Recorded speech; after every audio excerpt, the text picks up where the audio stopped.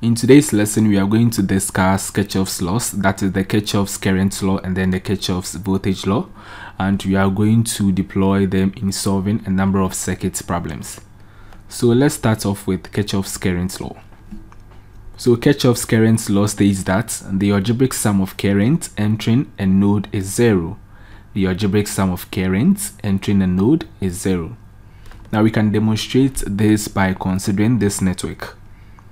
So here we have five different currents either entering or leaving the node. This happens to be the node. We have five different currents either entering or leaving the node. Now to clearly understand this concept, KCL or Kirchhoff's current law is saying that the algebraic sum of all these currents should be equal to zero. We are going to consider current entering the node to have a positive value and then currents leaving the node to have negative values. So let's start off with I1.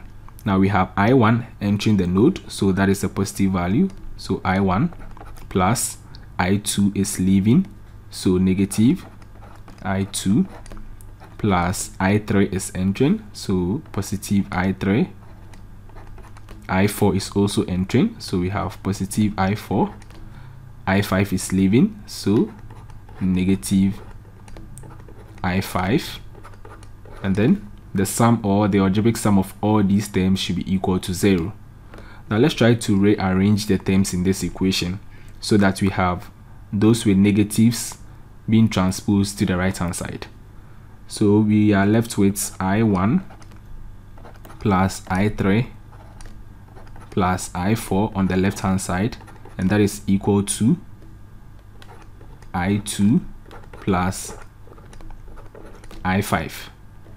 Now, if you look critically at what we have on the left hand side, you realize that it is the sum of currents entering the junction or the node. It is the sum of currents entering the node. We have I1, we have I3, and then I4. So what we have on the left hand side is the sum of currents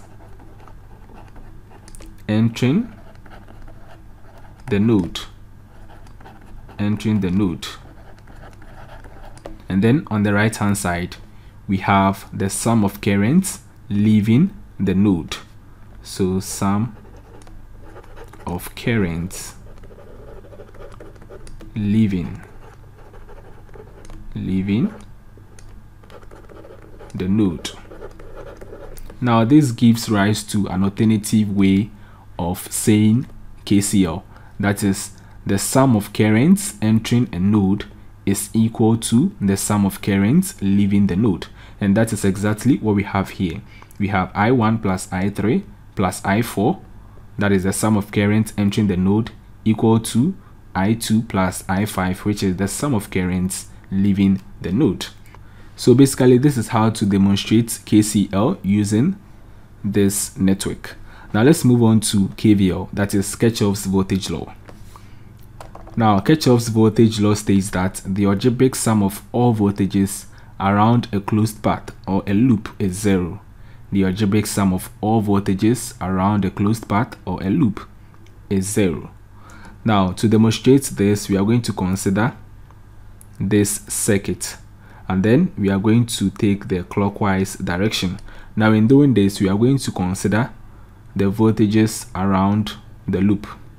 The voltages around the loop.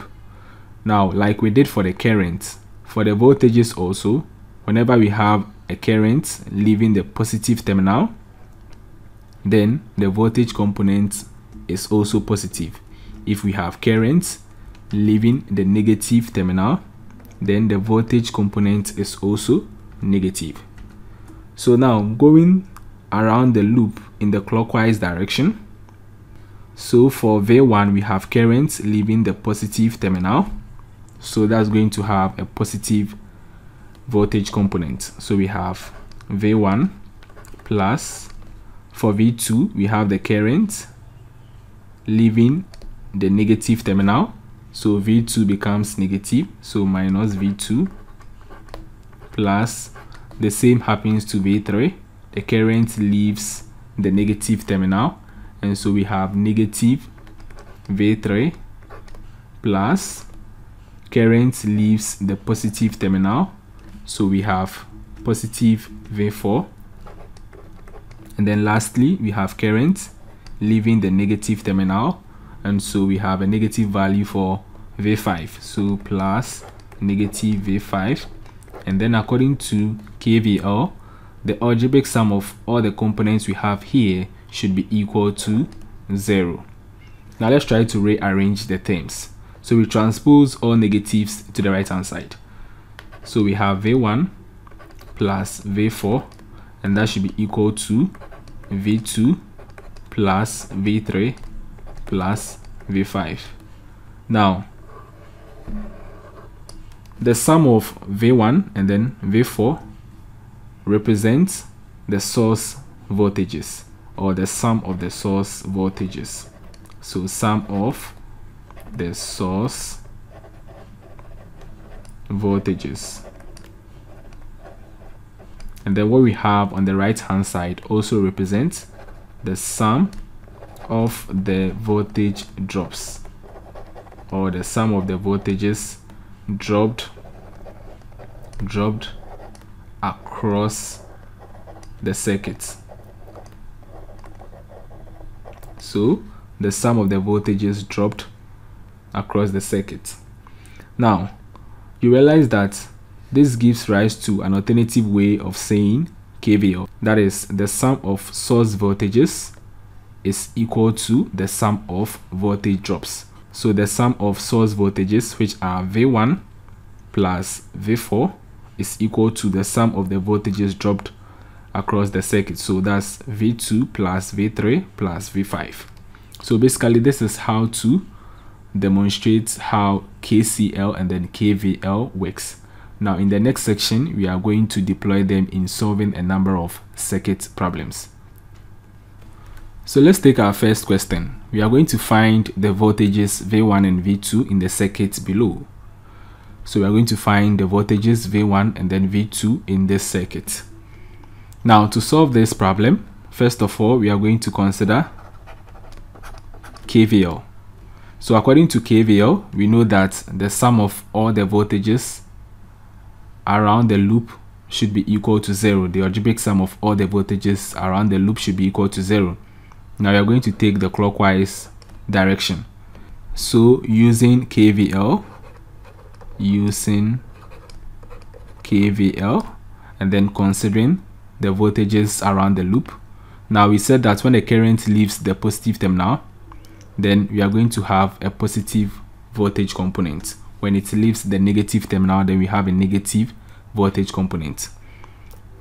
Now for the 10 volts we have the current leaving the positive terminal so we have positive 10 plus here we have current leaving the negative terminal so that becomes negative v1 here also current is leaving the positive terminal. So that becomes a positive value. So plus 8 and then here also current is leaving the positive terminal.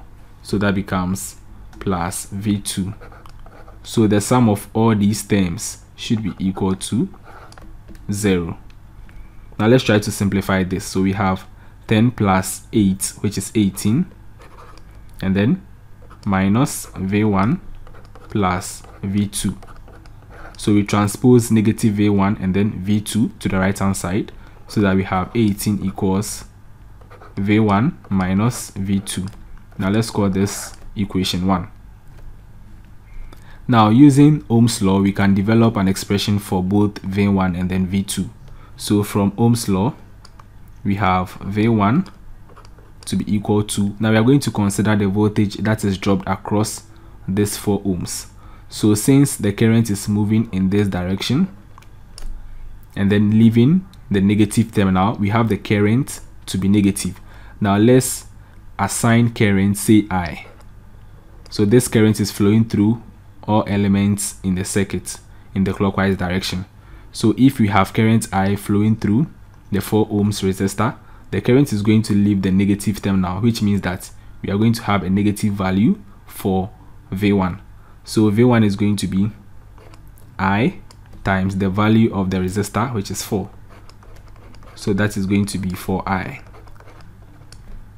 and then for v2 we are taking the clockwise direction so this time current leaves the positive terminal so i is going to be positive sorry so for v1 because the current is leaving the negative terminal it's supposed to be negative.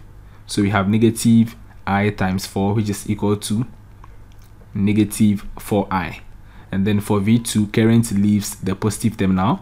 So that's going to be a positive current times the value of the resistor which is 2 so we have 2i so v1 is negative 4i v2 is 2i now we are going to substitute v1 and v2 back into equation 1 so putting putting v1 and v2 into equation 1 into equation 1 we have 18 equals v1 is negative 4i minus v2 is 2i and that gives negative 6i so we divide through by negative 6 by negative 6 and then we have i to be equal to negative 3 so i is equal to negative 3 amperes. So actually what this primarily means is that the current is rather taking this direction is flowing in that direction the opposite direction now since we are asked to find the values of v1 and v2 we have v1 to be equal to negative 4i and that is equal to negative 4 times negative 3 and we have that to be 12 volts. So that is the value of v1 and then for v2 that is 2i so we have 2 times negative 3 and that is equal to negative 6 so this is also the value for v2 so these are the values for v1 and then v2 respectively. Now let's move on to the second question. So in the second question we are also asked to find the voltages vx and then v naught in the circuit below. Like we used or the approach we used in the first example that is exactly what we are going to do also in this example. So we are also going to use KVL so using using KVL we are saying that the sum of all the voltages around the loop should be equal to zero. The algebraic sum of all the voltages around the loop should be equal to zero. We are also going to take the clockwise direction and then we assign current I flowing in all elements in the circuit. So starting from this 35 volt source we have the current leaving the positive terminal. So that is a positive value 35 plus we have current entering this resistor and then leaving the negative terminal. So we have this going to be a negative value for vx. So plus negative vx plus we also have current leaving the negative terminal of 2vx hence that's going to be a negative value. So negative 2vx and then we have current leaving the positive terminal of v naught. So that becomes a positive value v naught and then the whole of what we have on the left hand side should be equal to zero according to KVL so let's simplify. So we have 35 minus Vx minus 2Vx plus v naught equals 0 we can do something about this. So we have 35 minus 3vx plus v naught equals 0 let's call this equation 1 now you realize that we can develop expressions for vx and then v naught. So using ohm's law for vx for vx we have the current entering the positive terminal and then leaving the negative terminal. So since current is leaving the negative terminal, there is going to be a negative value. So we have negative I times the value of the resistor, which is 10. So Vx is equal to negative 10i. So also for V naught, current is leaving the positive terminal so that's going to be a positive value so positive i times value of resistor which is 5 so that is equal to 5i now let's substitute v naught and then vx into equation 1 so from equation 1 from equation 1 we have 35 minus 3 times vx which is negative 10i plus v naught which is 5i equals 0 so we simplify this and we have 35 plus 30i plus 5i equals 0 now when we add 30 to 5 we have 35 so that becomes that becomes 35 plus 35i equals 0 we transpose this to the right hand side. 35 equals negative 35i we divide through by negative 35 negative 35 and then we have i to be equal to negative 1 ampere. So that is the value of i. Now let's substitute i into vx and then v naught. So for vx we have negative 10i so that will be equal to negative 10 times negative 1 and that is equal to 10 volts for v naught we have 5i so that will be equal to 5 times negative 1 and that is negative 5 volts